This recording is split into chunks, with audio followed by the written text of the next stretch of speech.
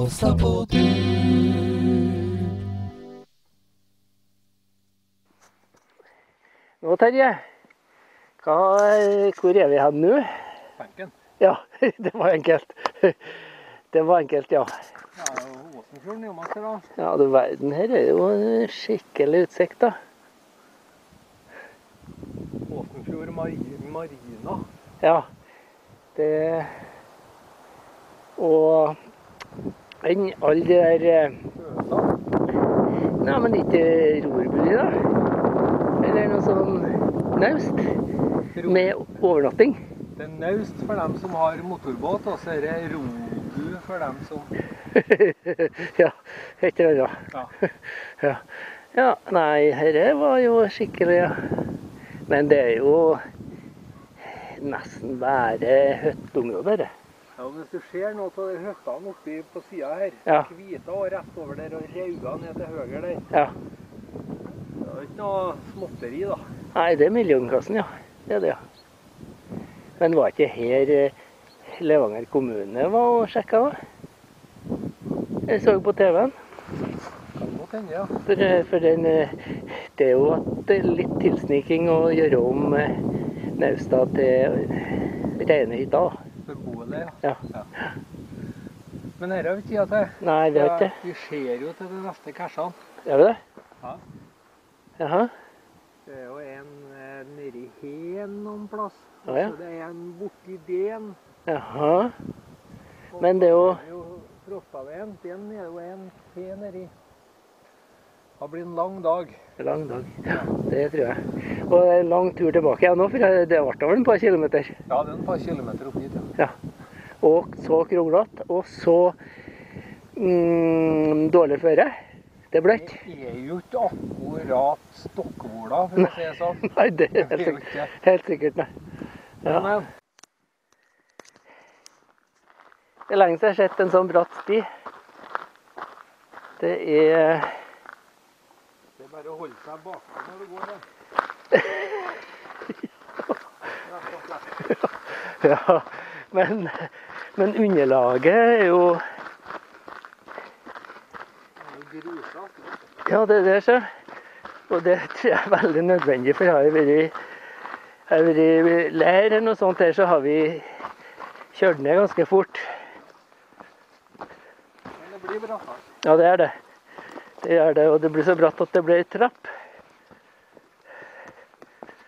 Det er et bratt, og det er et skoggo. Ja Jeg ville ikke alltid dratt på, ja,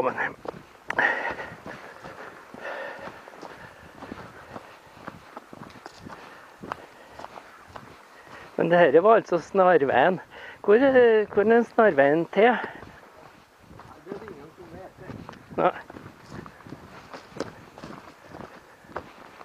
Nei, det er vel svaringen mellom sjøen høttene. Ja. Ja,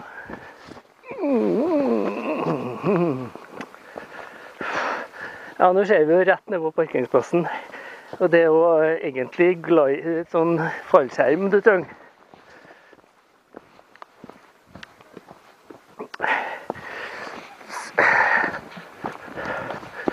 Ja.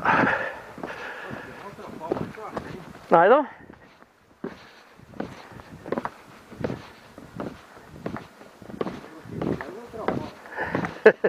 Ja.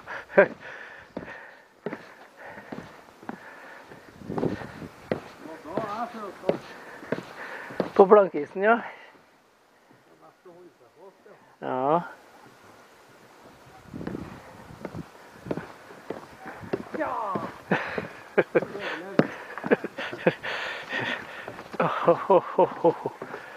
Ja. Ja. Det her er kanskje Stoggå, ja. Ja. Men du ser jo rettsekka på toppen av høstene. Ja, der, ja. Ja, akkurat det er grunnen, ja. At det er hytta oppå toppen her, ja. ja. ho, ho. Her, her tror jeg bare fjellklatrere som tør, ja. Hæ? Og så har vi veien på andre sida bak i skogen der. Og det her Det her er gammelveien til Frosta. Ja. Fra krigens dager. Og det måtte ha vært hyggelig ut, for eh, det står jo eh, satt opp steiner. Og det er jo mm, flott og fint bortover her. Å ja. Men det holder på å vokse igjen. da. Det skulle ha noen fjellklatrer og jeg har hygge ned noe tre. Kunne vel ha skutt ned den toppen med hagl. Men eh, Nei, her var det jo litt tøft ute på kantene, ja. Og så rett, eh, rett opp på andre sida.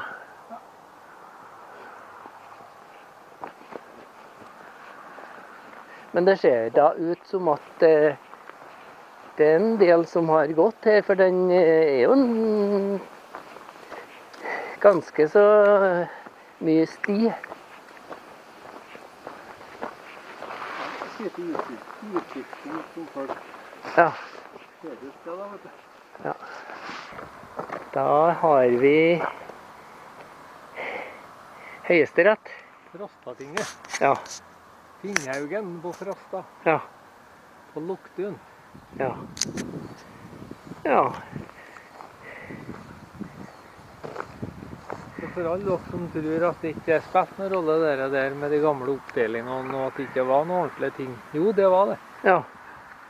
Men eh, nå har ikke jeg kikka på den steinene som er merka opp her, men er det hver region eller område? Nå er vi på virkelig sentrale strøk. Det er rett, ja. Til Ja. fylkene, ja. Ja. Men eh, det var noe utrolig hva mye du kan om noe så eldgammelt. Strindar.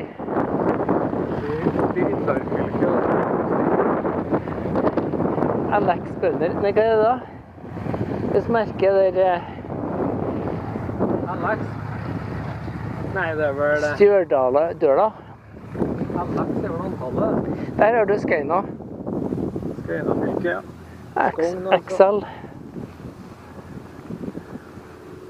Verdøla, ja. Verdøla fylke, Verdalen.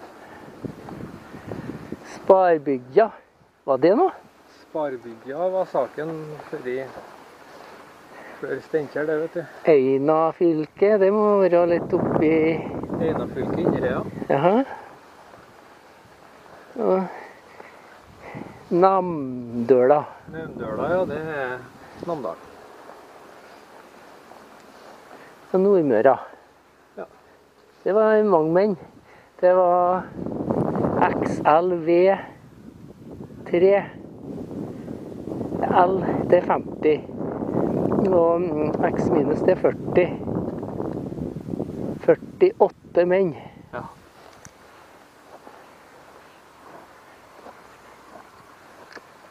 Her er det 16. Raumstøla skal jeg innrømme at da var det litt eh, usikker. Rauma, kanskje? Jeg er ikke sikker. Nei, nei. Og så har du Uppdaler. Ja, du verden, det omfatter utrolig lange Tre menn fra Oppdal. Orkdalen, da. Ja. 60. Og, og Gauldalen. Men det må da, måtte ha vært forskjellige tidspunkt på antall bønder? Gaurdøla igjen. Ja. Og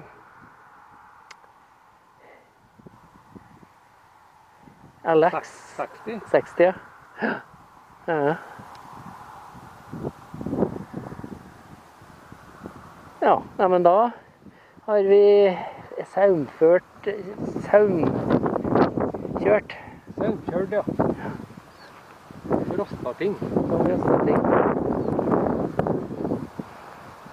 Øksningen naturreservat.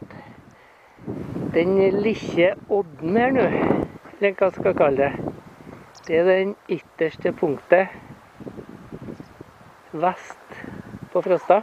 Ja. Da kan vi ikke komme lenger eh, ut før at vi begynner å gå på sjøen over til Trondheim. Eh, Vi har jo Vi ser jo Tyholttårnet i Trondheim. I hvert fall ser jeg det. Ja, hvor ser det? Jeg ser ikke på film. Men det var jo et lite stykke å gå, og så var det jo en fantastisk eh, campingplass. Hvis du snur deg 180 grader rundt, så ser du vestligste punktet på Tautra.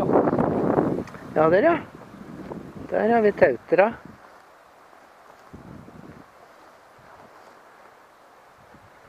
Ja, der har vi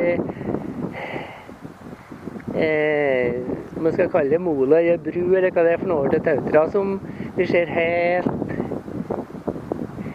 bort med kanten av eh, klippene her. Ja. Det er ikke så langt over. Det har gått an å rodde. Ja. Og så var, var det dette med mm, geografi, da. Ja. Der har vi ei øy. Ja. Og det er ikke Sauøya. Det, dere er Økningen. Ja, det, ja. Naturreservat. Ja. Ja, det var jo det jeg sto og så på. Det, det står her på Ja, det var det jeg sto og så på. Ja. Ja, akkurat. Ja,